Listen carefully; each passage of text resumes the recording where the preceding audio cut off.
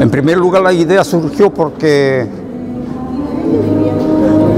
con Contreras tenemos una, nos conocemos desde el año 91, cuando yo vine a exponer acá.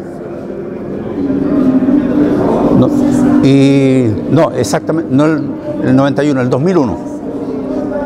He vuelto nuevamente a mi tierra, San Carlos, hace ya 20 años.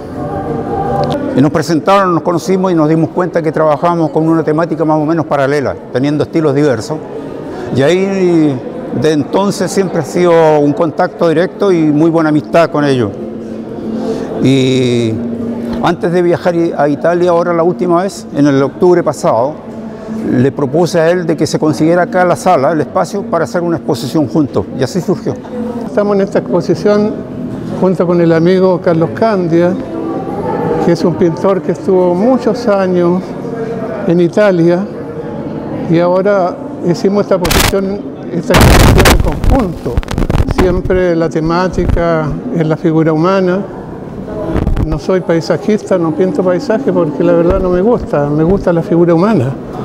Y, y estoy pintando un Chile que ya no existe, un Chile que ya fue. Y, eso es lo que la temática de todas las obras, incluyendo los campesinos campesinos y, lo, y, los mapuches. Pero todo a partir de lo que yo conocí, de lo que yo me recuerdo, y, y trabajando mucho con la memoria y, con la fotografía a nivel técnico.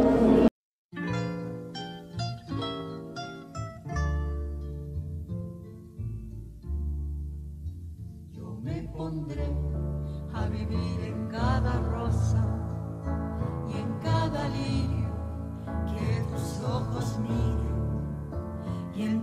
todo trino cantaré tu nombre para que no me olvides.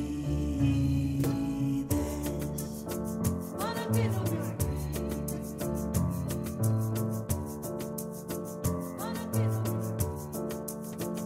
yo me pondré a vivir en cada rosa y en cada lirio que tus ojos miran